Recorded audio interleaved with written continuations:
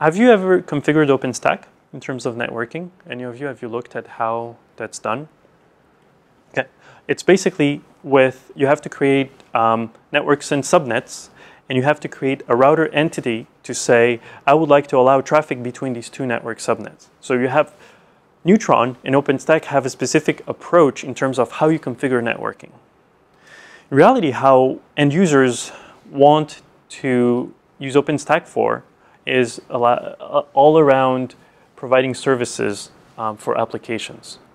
So I have different services. I want to allow traffic between them. I want no broadcast or multicast. I want scalable. I want all these things. But then you have to translate that to Neutron language so you can go in OpenStack and configure it. So we're back to the paradigm of, well, this is the end goal, but I have to do this to make it work.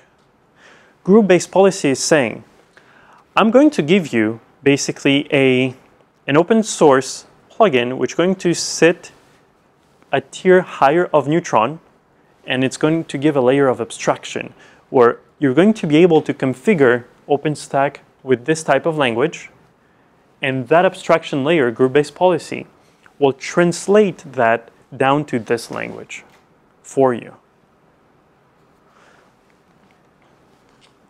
Another slide just to show you the concept of what I just said. Group-based policy sits over here. It's an open source project um, within OpenStack. It's, um, there is code obviously posted and um, we have developers, we have a team of 20 engineers that are working on this group-based policy.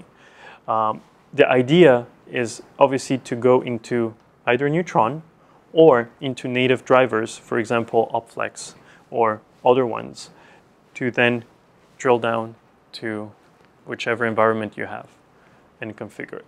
So that's the idea is to um, you know, we've talked about policy for some time with ACI. Um, it's coming in the industry more in general. You see now how it could be also interesting and appealing for Docker. By adding policy also in OpenStack, you basically now will start configuring OpenStack instead of that native way by creating endpoint groups and contracts again, policy. And this doesn't mean you have to use ACI. The group-based policy is on top here. Whatever you use underneath is your choice. Right? So you could use standalone switches with a regular Neutron driver. It will just configure VLANs for you.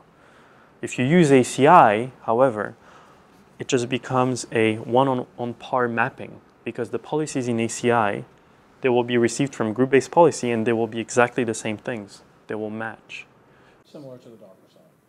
Similar to the Docker setup. It's, it's configured within, within there. Yes. Okay.